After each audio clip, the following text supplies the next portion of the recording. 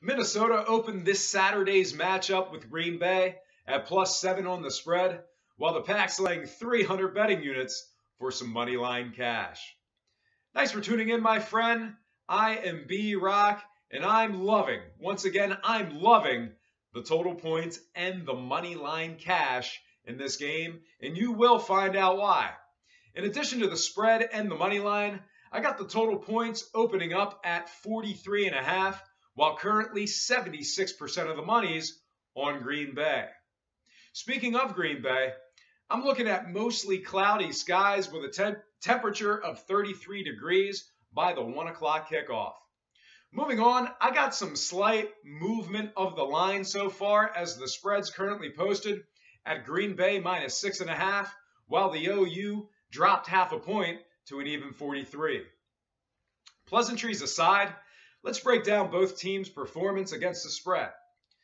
Minnesota is only one out of three. They've only covered one out of three as the underdogs on the road. In addition, when Minnesota faces teams allowing 21 to 25 points a game, they've covered a measly two out of six games this year. Disparaging records aside, the Vikes do indeed have marquee covers over Dallas, New York Giants, Green Bay, and Tennessee this year, although the latter did in fact occur at the beginning of the season when they were a completely different team. On the other side of the ball, let's break down Green Bay, who thus far has gone 7 and 6 with a push overall against the spread this year.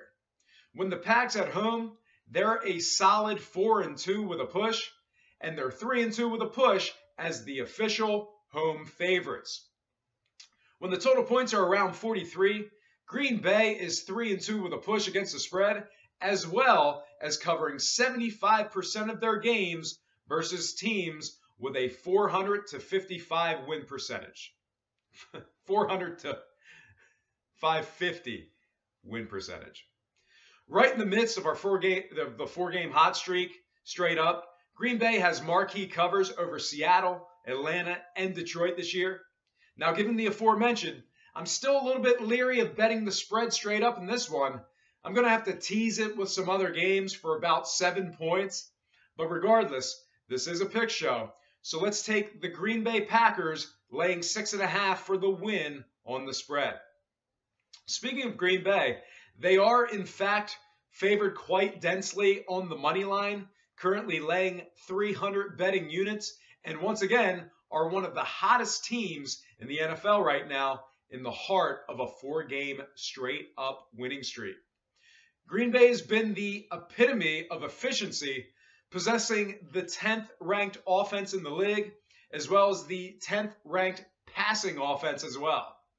They're going to need it as the sputtering Vikings do, in fact, have the third ranked defense in the NFL, despite their inability to win football games. Furthermore, Minnesota is second to last in total offense, and they are dead last in the league in rushing.